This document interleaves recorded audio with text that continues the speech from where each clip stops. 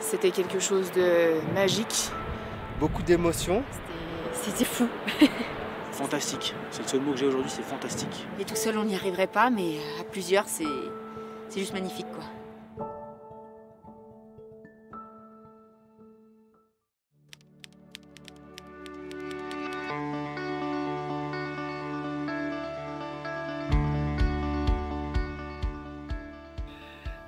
Nous sommes une PME d'une centaine de personnes, 30 ans d'existence, un peu moins de 20 millions d'euros de chiffre d'affaires. On est spécialisé dans la fabrication de coques de protection pour tous les outils informatiques euh, mobiles et puis aussi dans la bagagerie informatique pour transporter tous les accessoires.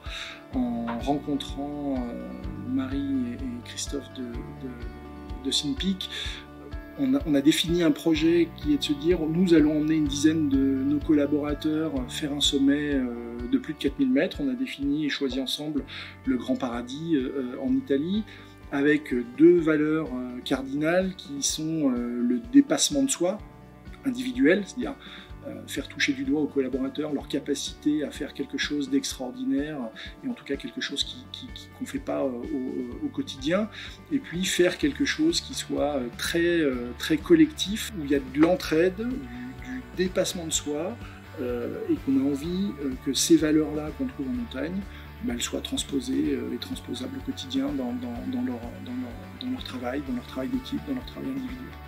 Avec SynPeak, on a l'habitude de créer et d'organiser des événements un peu hors du commun pour les entreprises. Et c'est vrai que là, d'emmener 10 euh, collaborateurs, 5 hommes et 5 femmes au sommet du Grand Paradis, c'est vraiment quelque chose d'exceptionnel. Pour ça, on va les préparer pendant 4 mois avec des tests physiques, des programmes de préparation physique, des séances collectives, un stage d'acclimatation qui va se dérouler 10 jours avant. Et l'idée est vraiment de pouvoir leur donner tous les outils individuels et collectifs pour que chacun puisse pleinement vivre ce moment et réussir cette ascension.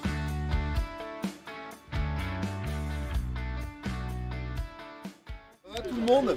Ça y est, on est Pourquoi pas, je tente. Comment ça ah, elle est stressée depuis ce matin. Elle est stressée, Aurélie Elle arrête pas. Je suis dans la voiture. Prête, euh, envie grave, prête, je sais pas trop. Le corps, des fois, il est un peu. Euh... Faut que je prenne confiance. Mais je suis prête et je suis trop contente d'être là. J'ai l'impression que ça tienne sur les hanches. Il, est, il a bon.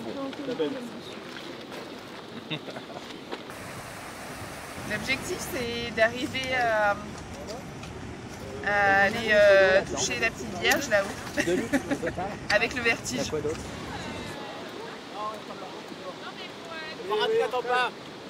C'est parti. On peut plus trop reculer maintenant. Hein, on n'a pas d'autre choc d'aller au sommet Ouais. T'es sûr? Ouais.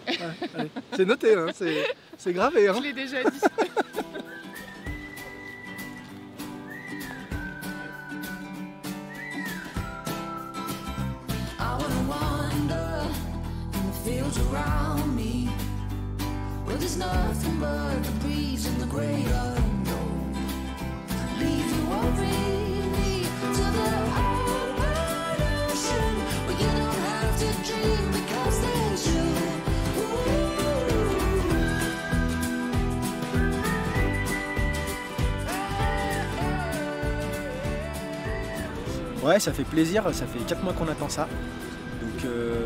Euh, impatience, mais euh, bizarre aussi de se dire qu'on a déjà fait euh, un tiers du boulot avec la montée là en, si peu de temps, c'est passé très vite. Et du coup, vivement demain, mais faut qu'on prenne aussi le temps de profiter. Magnifique. Ça fait un goûter avant. Bien sûr, allez goûter de toute façon. Après les 18 barres de céréales, les... un sandwich et demi. Et là on y est. Aujourd'hui c'était facile, enfin facile. c'était euh, honnêtement beaucoup plus facile que ce que j'imaginais. Je pense que demain on va en chier. Non mais voilà, on y est, on y est, il y a une belle journée qui s'annonce normalement demain, tant sur le plan météo. Euh, moi je pense que vous êtes tous prêts, chacun avec votre profil, avec votre expérience, mais en tout cas voilà, je pense qu'il y, y a, de quoi faire et il n'y a pas de raison qu'on n'arrive pas tous ensemble là-haut et c'est vraiment l'objectif de demain. Une belle nuit à vous et mettez-vous physiquement et mentalement dans une bonne journée, dans de bonnes dispositions. Ça Yann Je t'ai réveillé? Non. Je suis hyper désolé. Non, non, tout va bien. Marc, réveillé? Non, pas du tout. T'as vu la peur dans le regard? Est-ce que quelqu'un a pensé à prendre sa bombe du tigre? Tu peux parler moins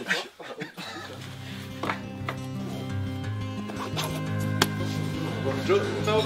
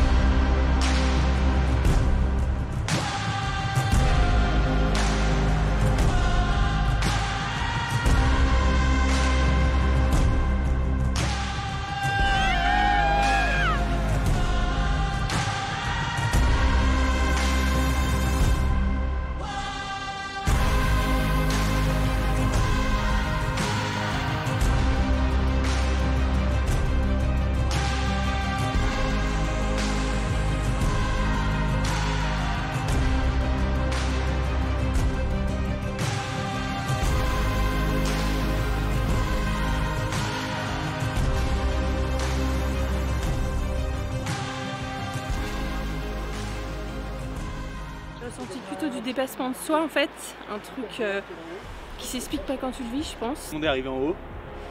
Et ça, je pense que c'est le, le must quoi. C'était magnifique, c'était long, c'était dur. Mais on est montés tous ensemble.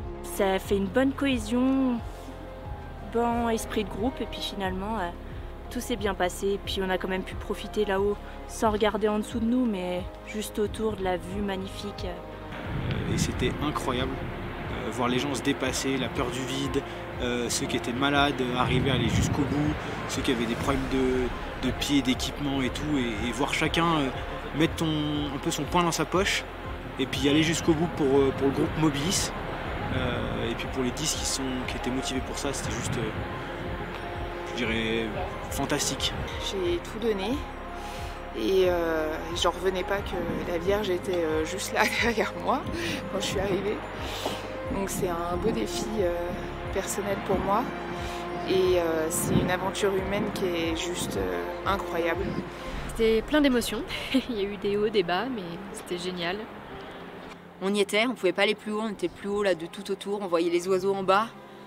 Euh, voilà, on pouvait être fiers de nous tous ensemble, c'était c'était vraiment chouette. Projet réussi, ouais. Je sais pas si euh, je relancerai un projet 4000 euh, rapidement, pas sûr. J'ai passé 4 mois euh, et, les deux derniers jours euh, vraiment, euh, vraiment exceptionnels. Vraiment exceptionnels. Ils sont, ils sont formidables, j'adore.